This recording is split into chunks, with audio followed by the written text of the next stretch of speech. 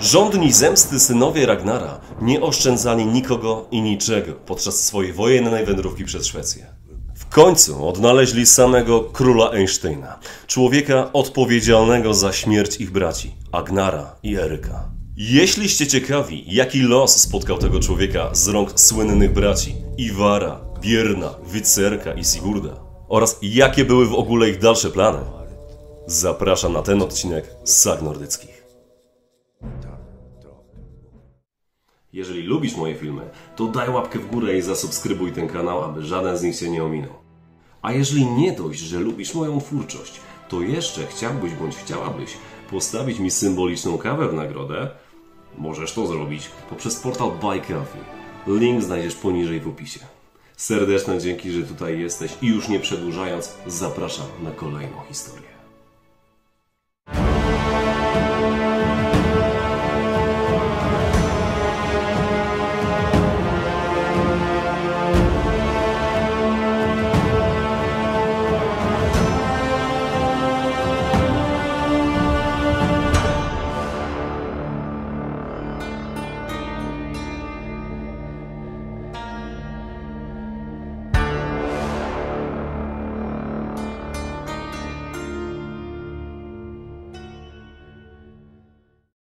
Armie synów Ragnara i Randalin siały zniszczenie w wielu zakątkach Szwecji.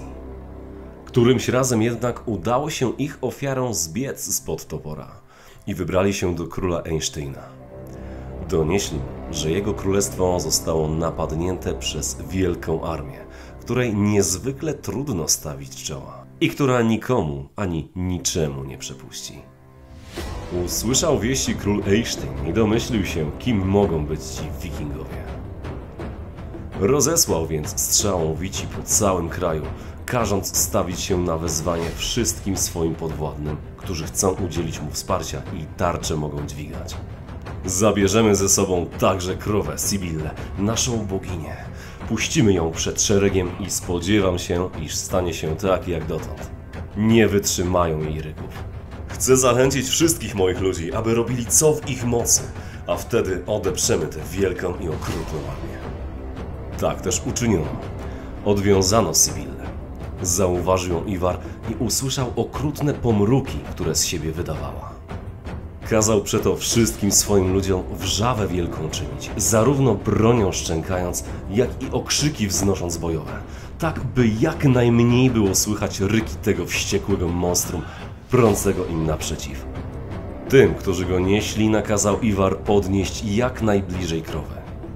I wtedy, jak to bydle na nas ruszy, ciśnijcie mnie w nią, a wówczas albo oddam życie, albo ona zdechnie.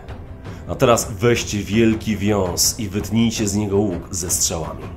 Podano mu ten sprężysty łuk i wielkie strzały, wystrugane na jego rozkaz były tak wielkie, że wyglądały jakby nie nadawały się do użytku przez człowieka.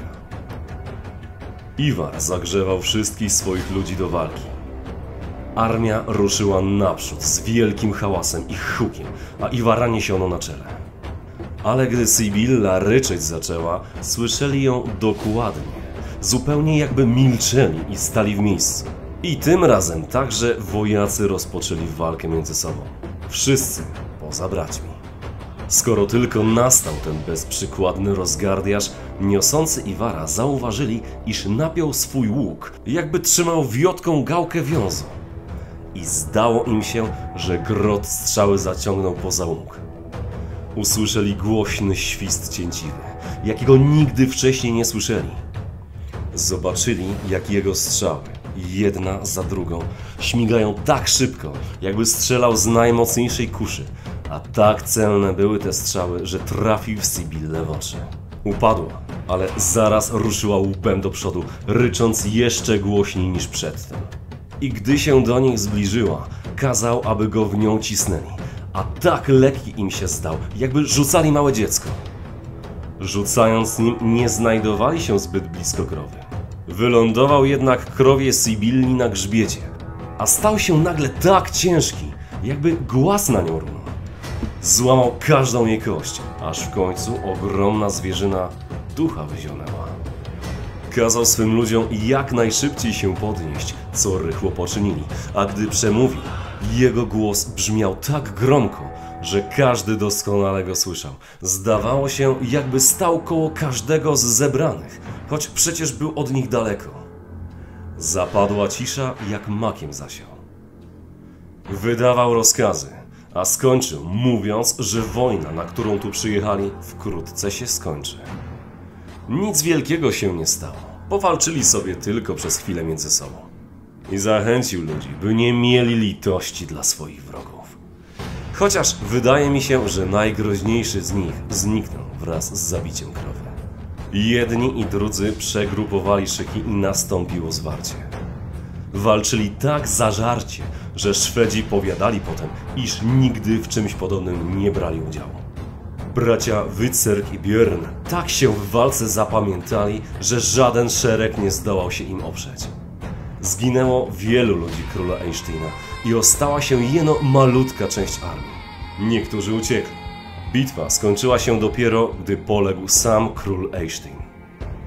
Bracia szybko ogłosili zwycięstwo, a tym, którzy nie zginęli, darowali życie. Iwar ogłosił, że już nie będzie wojował w tym kraju, bo królestwo zostało bez króla. Wolę, abyśmy przenieśli się tam, gdzie siły są większe. A Randalin z częścią armii wróciła do domu. Po wielkim zwycięstwu w Szwecji synowie Ragnara postanowili najechać królestwa na południu. Sigurd Wąż w oku, syn Randalin, od tego czasu brał udział w każdej wyprawie wojennej braci. Podczas tej kampanii najeżdżali każde wielkie miasto i żadne z nich nie było w stanie się przed nimi obronić. Doszły ich słuchy o pewnym grozie, zarówno wielkim, jak i licznie zamieszkałym przez hardych ludzi. Iwar postanowił, że nań uderzą. Wiedzieli także, jak się miasto owe nazywa i kto w nim rządzi. Władca na imię miał Wifil i to od jego imienia zwano miasto Wifilsborg. Ruszyli tam. Najechali wszystkie miasta, które znalazły się na ich drodze, a po każdym z nich zostawiali tylko ruiny. Wreszcie przybyli do bram Wifilsborga. Władca akurat na czele licznych wojsk przebywał poza miastem. Rozbili obóz na polach wokół murów i spokojnie przeczekali dzień, w którym tam przybyli. Zasięgnęli nawet i języka u mieszkańców. Na koniec zaproponowali im, że albo poddadzą swoje miasto, a wówczas darują życie każdemu z mieszkańców, albo wypróbują ich siłę i zawziętość, ale wówczas nikt z życiem nie ujdzie. Mieszkańcy szybko podjęli decyzję i oznajmili najeźdźcom, że miasta nigdy nie zdobędą, więc go nie poddadzą. Pierwej będziecie musieli udowodnić swoją waleczność i upór. Minęła noc. Następnego dnia usiłowali zdobyć miasto, lecz im się to nie udało. Oblegali mury przez pół miesiąca z nadzieją na zdobycie. Atakowali codziennie i mając się różnych sposobów. Ale im dłużej trwało oblężenie, tym bardziej im się to nie udawało. Już mieli zamiar odstąpić od oblężenia. I kiedy mieszczanie zauważyli, że najeźdźcy mają zamiar odstąpić, wyszli na mury miejskie i rozpostarli na nich złotem tkane i jedwabne szaty i całą najpiękniejszą odzież w mieście i rozłożyli złoto i cenne przedmioty, najdroższe w całym grodzie.